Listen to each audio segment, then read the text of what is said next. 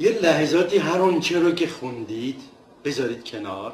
وقتی ما میگیم دکیومنتری مستند اسناد مستندترین آدم یکی از مستندترین آدم ها الان در کنار من نشسته. از محضرشون دارم استفاده می‌کنم و هر آنچه که ایشون میگه برای من مستنده. اگر تو کتابی خوندیم اگر کتاب مربوط به کسی است که نمی‌دونم تو لابراتوار نشسته تو خونهش نشسته پشت میزش نشسته بر اساس حدس خودش اینها رو نوشته و به ما رو داده. همه اینا رو بذاری تو تاخچه و خونه یک کیس یک مورد استثنایی مستند در در کنار منه و هر آنچه که ایشون میگه برای بنده مستنده. گرچه ممکنه احساس کنید که ما راجع به فلان قبایل فلان قبیله اینو خوندیم اینو دیدیم همه اینا رو یه لحظاتی بذارید کنار.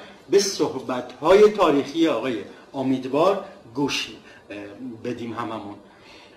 آیا امیدوار این خب ممکنه در ذهن این سوال پیش بیاد. خب ما یه چیزایی میشنویم قبیله آدم خورا دو تا برادر می‌خوان اصلا اصلا نحظه ورود شما. با چه ارتباطی بوده؟ چه جوری نزدیک می‌شدید؟ پیک بوده؟ زبان خاصی با بعد این مفهوم یا این واژه آدم خورا رو خب این رو یه مقدار برام نه ببینید اصلا آدم خارها در دنیا در این قبایلی که ما در بینشون زندگی کردیم وجود نداشته. فقط یه قبیله بودن در گینه نیو گینه در شمال استرالیا که اونا یه مقدار خطرناک بودن. ولی سایر نقاط دنیا واقعا به اون صورت که انسان رو بکشن و بخورن اصلا وجود نداشته. من دوست ندارم که برای اینکه بزرگ کردن کارم رو کارم رو جلوه بیشتری بدیم بگیم نه ما رفتیم وسط آدم خوران نه خیلی. هیچ چیزی نبوده. ولی اینها فرض که مثلا اون قبیله جیبارو یا خیباروز در اکوادور هستن که اینها وقتی که دشمنای خودشون دشمن وقتی که میگیم حالا به هر حال متجاوز بوده به حقوق این قبیله این طرف. اینا وقتی که جنگ و دعوا افتادن همدیگر رو میکشتن دیگه.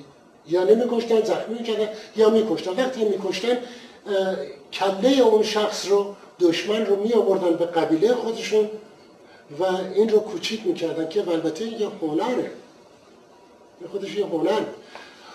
ارزم که کوچیک کردن به این صورت بود که این برای این بود که کوچیک می‌کردن که بتونن داخل به کلبه خودشون نگهداری بکنن و بگن که فلان شخص که دشمن ما بوده ما کشتیمش. ولی خب در بین اینا افراد سفید پوست را کشتن.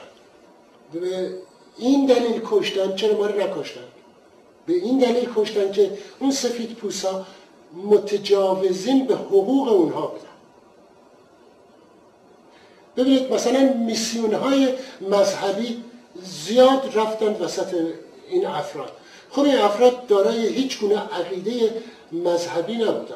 هیچ گونه چیزی رو معتقد نبودن. اصلا نمی‌دونستن خداوندی وجود داره یا نیروی وجود داره. هیچ. فقط به یه مقدار مسائل روحی اعتقاد داشتن.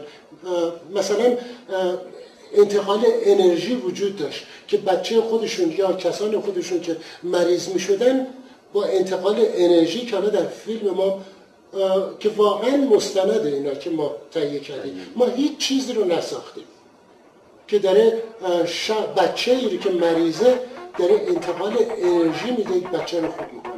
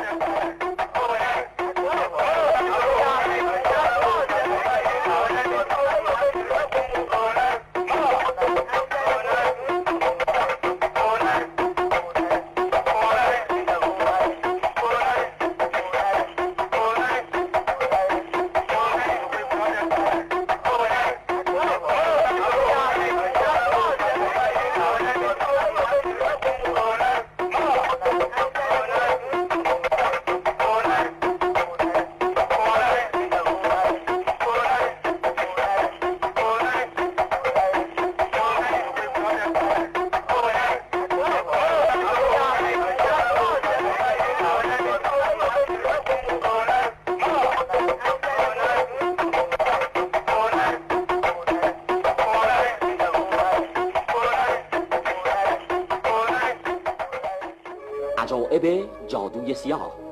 واقعیاتی که قبولش برای چشمان من دشوار بود.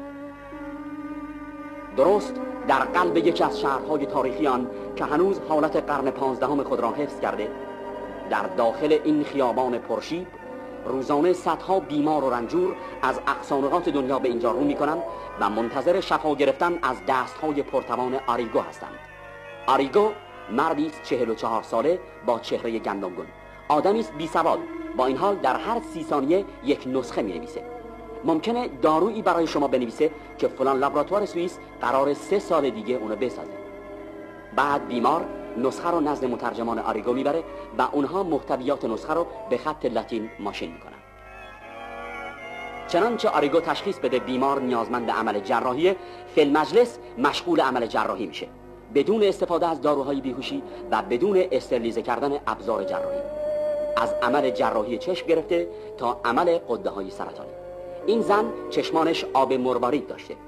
آریگو معتقده که هر روز به محض ورود به اتاقش روح یک جراح آلمانی به نام آدولف فریتز که در جنگ جهانی اول کشته شد در اون حلول می‌کنه در برزیل بازارهای سحر و جادو رواج زیادی داره این عقاید به همراه ریتهای وودو و ماکومبا همراه بردگان آفریقایی به این کشور وارد شد.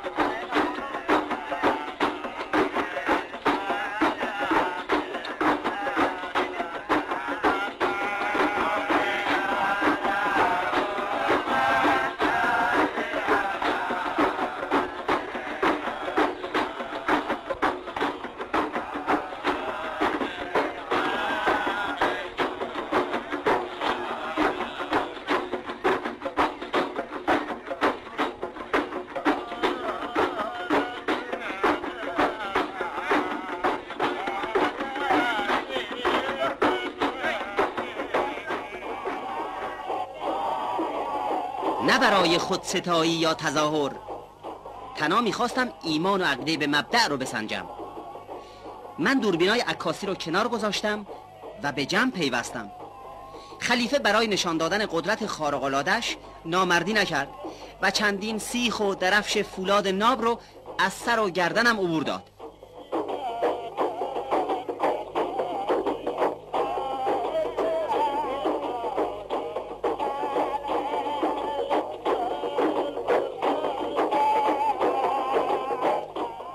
ولی بعد از اینکه محل یکی از سیخا به شدت خونریزی کرد خلیفه عبدالله رو مقصر دونست و گفت که تو ایمانت به خداوند به حد کفایت نیست. اما خلیفه فوراً با آب دهانش جلوی خونریزی رو گرفت.